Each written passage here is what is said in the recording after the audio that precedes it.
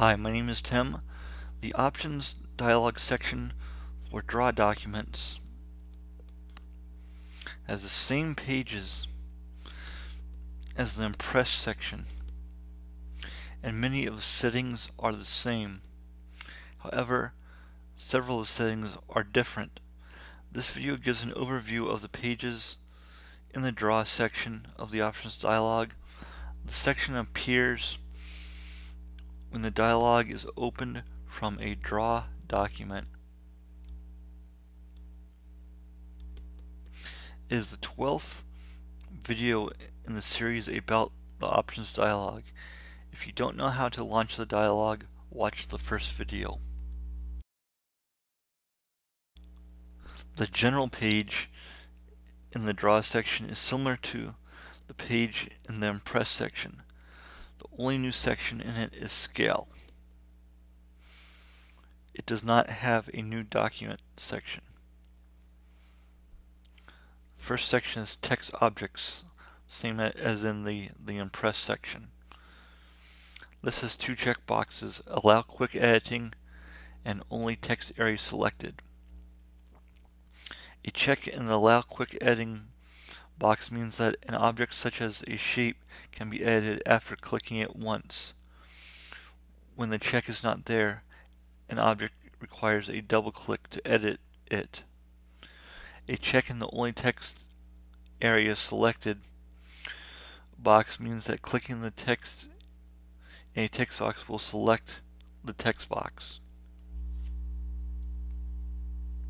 The settings section has four checkboxes and a drop-down menu with an associated text box.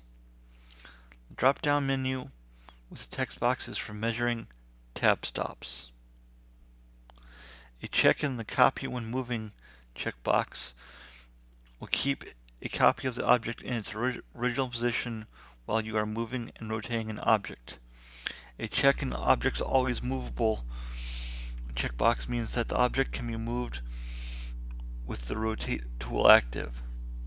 A check in the use background cache box means that cache will be used on a master document for displaying documents. The draw page ha has an additional checkbox in this section that was not in the same section in the the Impress section of the Options dialog. It is Do Not Distort Objects in Curve. A, a check in this box maintains relative alignment of Bezier points and two 2D drawing objects to each other when you distort one object. The Scale section has a drop-down menu with many different ratios. It sets the scale on the ruler for the canvas.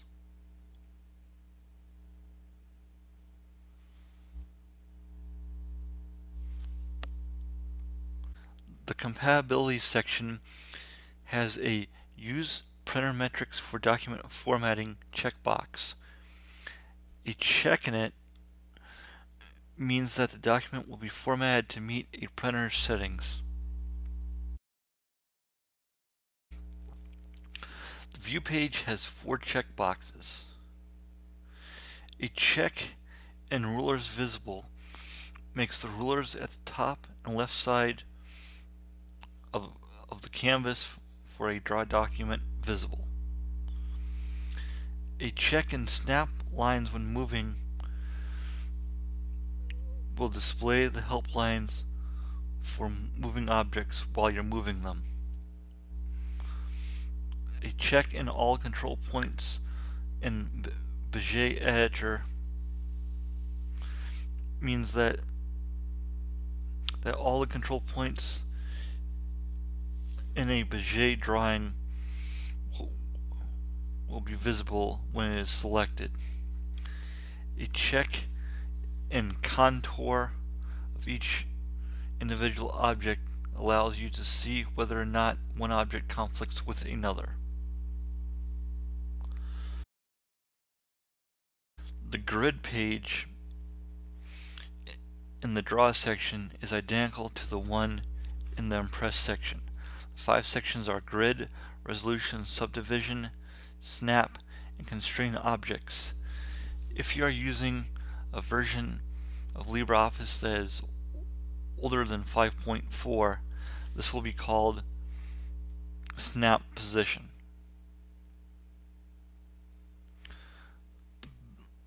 Grid section has checkboxes to make the grid visible and, and another one to allow objects to snap to the grid. The resolution section allows you to set the grid point spacing. The subdivision section allows you to set the number of spaces between grid points. The snap and constrain objects or snap position sections have items that help users position objects on the canvas. The print page, page has checkboxes that allow you to select what elements are included in print jobs.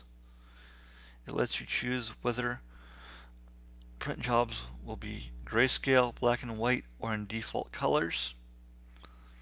There are also options for how the pages are printed.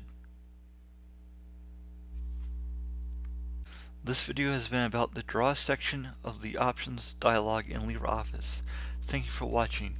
To learn more about the Options dialog in LibreOffice, watch the other videos on this channel or playlist.